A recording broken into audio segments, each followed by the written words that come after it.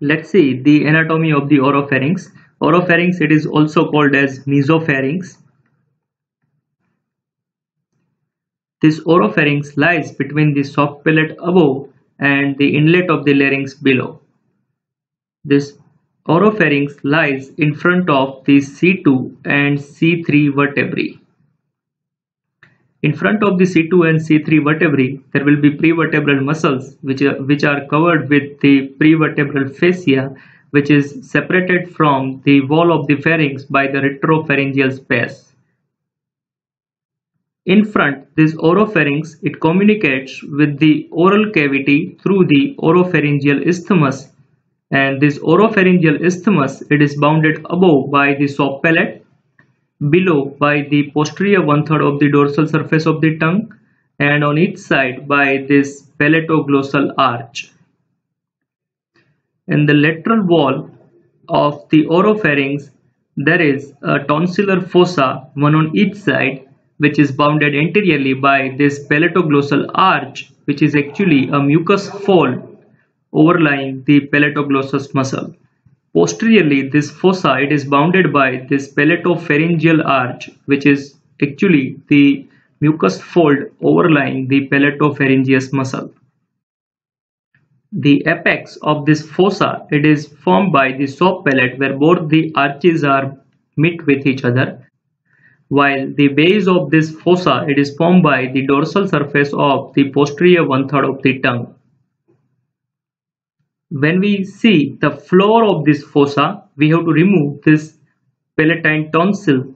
And when we remove this palatine tonsil we will see the mucous membrane under it. And when we cut the mucous membrane we will find the pharyngobasilar fascia. And under the pharyngobasilar fascia we will find the superior constrictor muscle as well as the styloglossus muscle under it and within these fossa the palatine tonsil lie which is a lymphoid tissue present on each side of the oropharynx.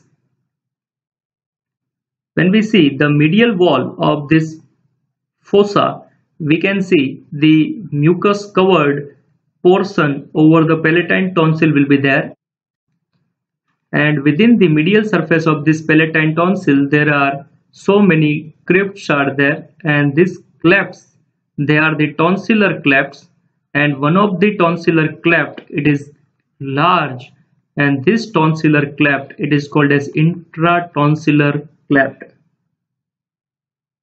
which is present in around 40 percentage of the individuals and it is one of the cause for the lodgement of the food particle inside the palatine tonsil which may lead to the infection of it that is called as the tonsillitis. Now let's see the laryngopharynx which is also called as hypopharynx. This laryngopharynx it is extended from the upper part of the laryngeal inlet to the lower border of the cricoid cartilage and this laryngopharynx it is bounded behind by this C4, C5 and C6 vertebrae which are covered with the para and prevertebral muscles ultimately covered by the prevertebral fascia which is separated from the wall of the pharynx by the retropharyngeal space. Anteriorly, this laryngopharynx it is communicates with the larynx in the upper part and in the lower part it is closed by the posterior surface of the arytenoid cartilage as well as the posterior surface of the lamina of the cricoid cartilage which are covered with the mucous membrane.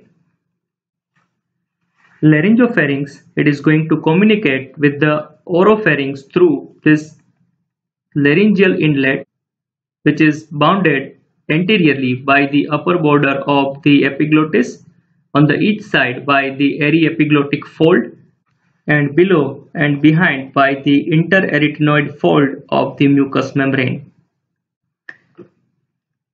The structures present on the lateral wall of the laryngopharynx, we have to see this figure.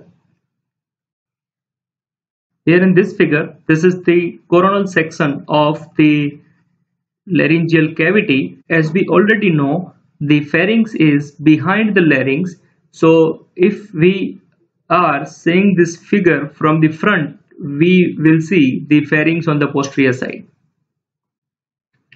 So here this both the lateral side to the pharynx we will find this fossa and this fossa these are the pyriform fossa. This pyriform fossa they are bounded medially by this aryepiglottic fold as well as on the medial side it is bounded by this thyrohyoid membrane as well as the upper part of the thyroid lamina medial surface.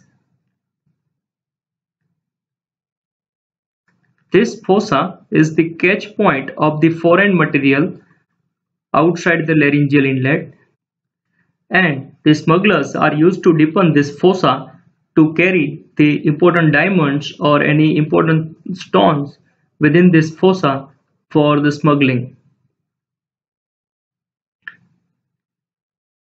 Very important nerve is passes just below the floor of this fossa and that is the internal laryngeal nerve.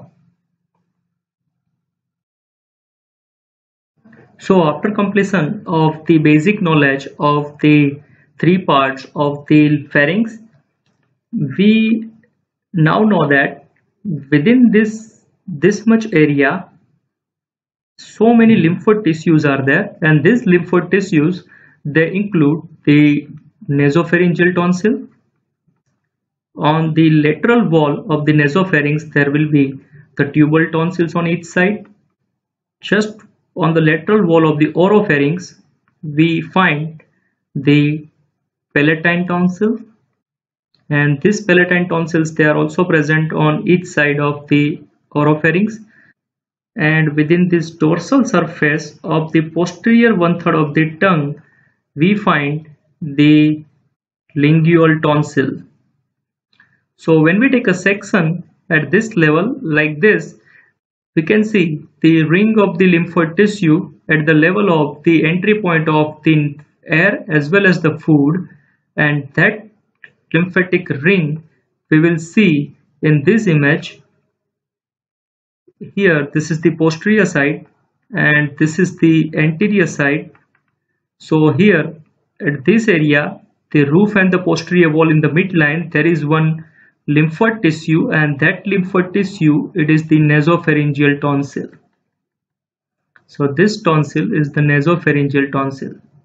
Uh, the lateral wall of the posterior aspect there will be two smaller lymphoid tissues are there and these are the tubal tonsils one on each side so these two are the tubal tonsils now in the anteriorly there will be the lingual tonsil in the dorsal one third of the tongue and this tonsil it is the lingual tonsil and on the each side of the oropharynx and within this tonsillar fossa the palatine tonsil lies and these two are the palatine tonsils so one ring of the lymphoid tissue is formed at the level of the oropharyngeal isthmus where exactly the entry of the air and the food are going to pass and this ring of the lymphoid tissue it is called as a Waldeyer's ring and which is present just under the mucous membrane.